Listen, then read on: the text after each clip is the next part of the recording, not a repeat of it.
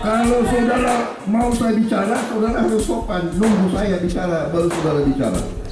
Jangan ribut sendiri. Dari buruh, dari pekerja, dari guru-guru honorer, dari dokter, dari ahli hukum,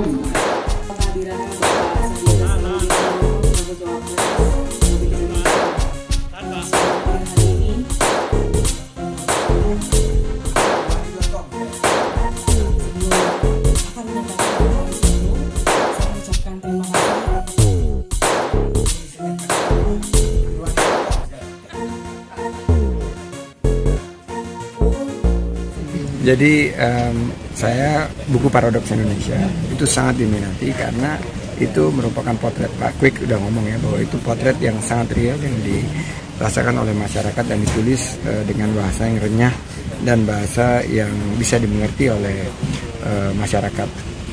Nah itu buku-buku itu biasanya ada yang beli eh, di dipesan.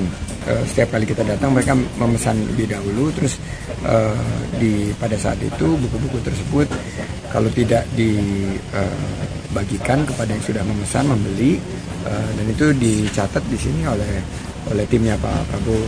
Jadi kita nggak melakukan eh, pembagian yang di luar eh, yang sudah ditetapkan kewenangannya oleh KPU